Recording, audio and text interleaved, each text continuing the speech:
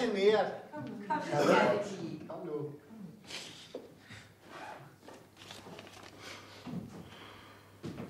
Michael, Michael, Michael.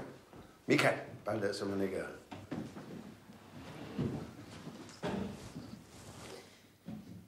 Det er... Det er fra min søster.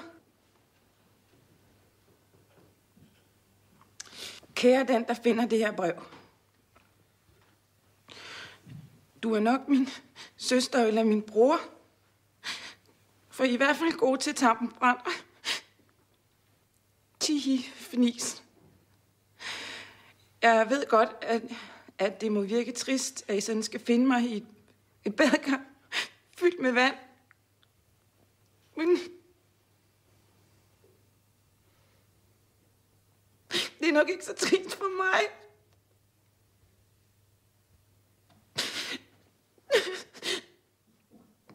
Jeg ved, at I, øh, øh, mine søskende, er nogle glade og, og lysende mennesker.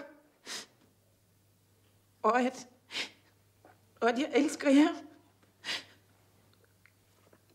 Og jeg synes, I skal lade være med at tænke på mig. Til dig, Christian, min elskede bror, som altid har været hos mig. Tak for alt. Jeg vil ikke blande dig ind i det her. Til det elsker jeg dig for meget. Og dig, Helene. Og dig, Michael, selvfølgelig. Din skøre ræd.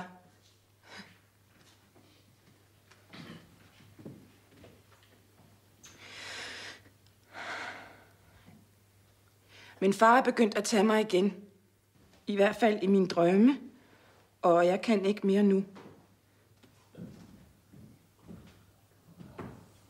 Nu skal jeg væk.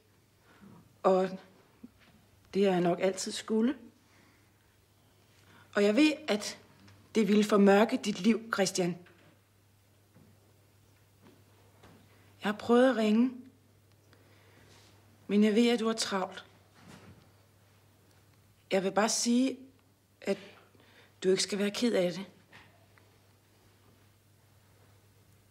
Jeg tror, der er lyst og smukt i det hensides. Og jeg glæder mig faktisk. Men jeg er selvfølgelig lidt bange. Bange for at tage sted uden dig. Jeg elsker dig for evigt. Linda.